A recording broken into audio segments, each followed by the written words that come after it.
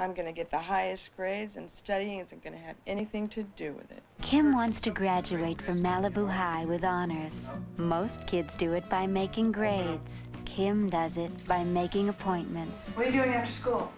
If you're interested, I'll be at High Point. I'm not interested. High Point. I'll be there. She's studying with the best instructors at Malibu High. And if she can't learn enough from 9 to 3, You game for a little game? she takes her teachers on a field trip.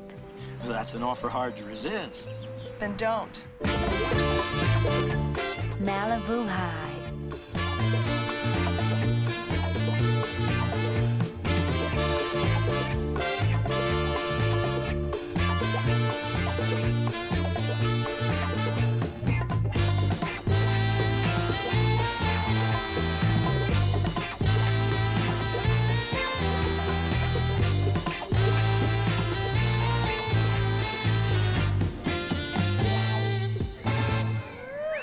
Malibu High, where the most important subject is physical education. How are you, Miss uh, Bentley? The best, sir. I need extra help, Mr. Mooney. I mean personal help. Couldn't we get together after school? From history to physics, The next report cards are about to come out. I want you to know what grade I expect. About your grades, Miss Bentley. Truly remarkable. from botany to driver's ed. What grade do you expect?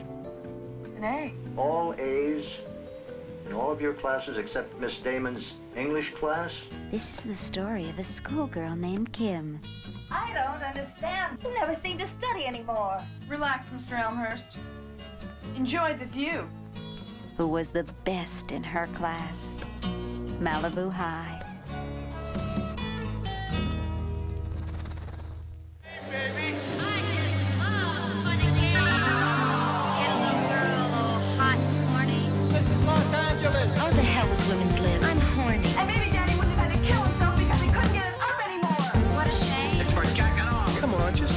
Before we get creamed.